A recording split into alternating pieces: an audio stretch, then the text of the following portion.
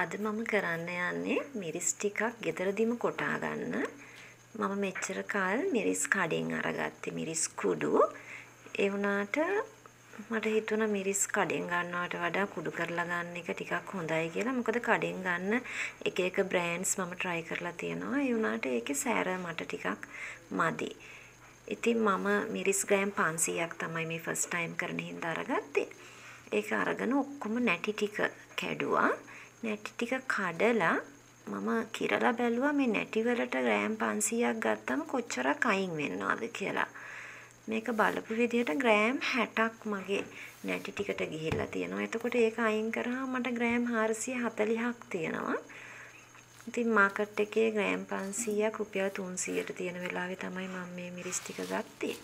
දැන් මේ ඔක්කොම නැටි ටික කඩාගත්ත මිරිස් ටික මම හොඳට තද අවුවේ දාලා වේලනවා. පැය 3ක් 4ක් විතර හොඳට වේලා ගත්තාම මේක පොඩ්ඩක් කරකර සද්දේ අතට දැනෙනවා.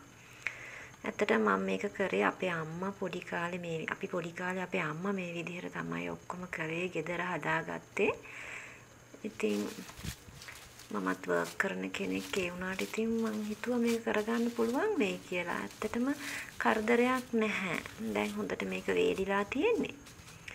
ඊට පස්සේ මේක ටිකක් කබලේ රත් කරගන්නවා. මේක ගොඩක් මේ තද පාට වෙනකන් රත් කරන්න ඕනේ නැහැ. මොකද මම සාමාන්‍ය මිරිස් කුඩු තමයි හදාගන්න යන්නේ මේ මස් වලට වෙනම මස් වලට සහ මිරිසට වෙන මාළු වලට හදන මිරිස් එක නෙමෙයි හදාගන්නේ සාමාන්‍ය මිරිස් එක. ඒ නිසා මේකේ අර පොඩි තෙත ගතිය වගේ තියෙනවා නම් තවත් ඒක අයින් වෙන්න මට්ටමට ගන්න තමයි මම මේක කබලේ පොඩ්ඩක් රත් කරන්නේ. මේක විනාඩි 3ක් විතර මෙහෙම හොඳට රත් කරගත්තම ඇති. ඊට පස්සේ මේක හොඳට නිවෙන්න දුන්නා. නිවෙන්න දුන්නට පස්සේ මේක මම හොඳ කවරයක සිදුරු නැති හොඳ හුලං ඇතුළට යන්නේ නැති හොඳ කවරයක දාලා ගැට ගහලා මේක මම මෝල්ලට ගෙනියන්නයි දැන් ලෑස්ති වෙන්නේ. මතක ඇතුව මේක මෝලට ගෙනියන වෙලේට මේ පත්තරයක් නැත්නම් කඩදාසියක් ගෙනියන්න ඕනේ. අපේ අම්මලා නම් මේකට පත්තරයක් තමයි වෙනම අරගෙන යන්නේ. දැන් නම් කියනවනේ පත්තර පාවිච්චි කරන්න එපා කියලා. මොකද ඒකේ අර අකුරු print කරන්න ගන්න කාබන් එක යනවා කියලා අපේ ආහාරවලට. මම ඊළඟ සැරේ හිතාගත්ත මේකට භාජනයක් ගෙනියනවා කියලා. මම මේක first time කරන හින්දා පත්තර පිටුවක්ම අරගෙන යනවා. මගේ මෝල තියෙන්නේ ටිකක් කිලෝමීටරයක් විතර ඈතින්. ඒ මෝල ඇත්තටම මේ එච්චර සෙනග ඉන්න තැනක් නෙමේ. ඒ හින්දා මට දීලා එවලෙම ගන්න පුළුවන්. නැත්නම් අපිට පුළුවන් මේක මෝලට දීලා අපේ ටවුන් එකේ වෙන වැඩක් තියෙනවා නම් කරගෙන ඒකට දෙන වෙලාවට ආයෙ එතෙන්ට එන්න.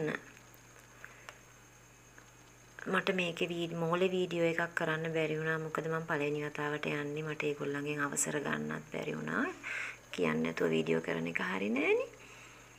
රුපියල් 50ක් මගෙන් ගත්තා මේ ටික කොටන්න. මේගොල්ලෝ මේක ආයෙ කිරනවා. කිරලා තමයි ඒක බර අණුව ඒගොල්ලෝ තීරණය කරන්නේ. ඉතින් මේක ඇත්තටම මේකට ගිය විදියම එතකොට රුපියල් 300 50යි ග්‍රෑම් 440ක් හදාගන්න මට ගියේ රුපියල් 350යි.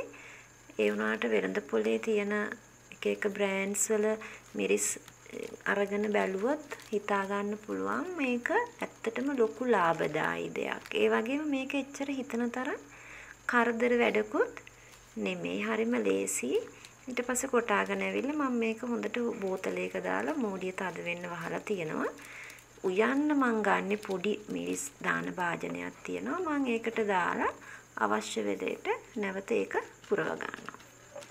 ස්තුතියි වීඩියෝ එකත් එක්ක රැඳී සිටියට.